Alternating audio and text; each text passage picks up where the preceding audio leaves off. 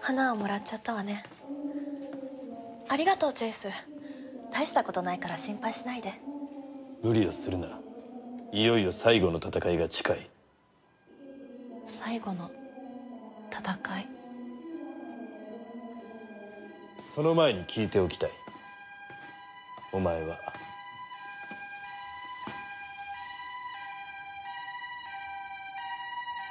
しんのすけを愛しているのか？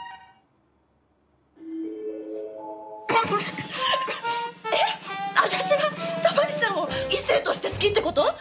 その通りだ。別にタマリさんは大切なバディだけど。バディとしては最高だけど。そう。すごく手のかかる人で。ハボるしそのくせ火がつくと無鉄砲で。あんなコルサに放り込んだ私がいないとダメだから。世話焼いてるだけで。彼女としてはないないです。彼氏としてはないない。もういい。答えは分かった。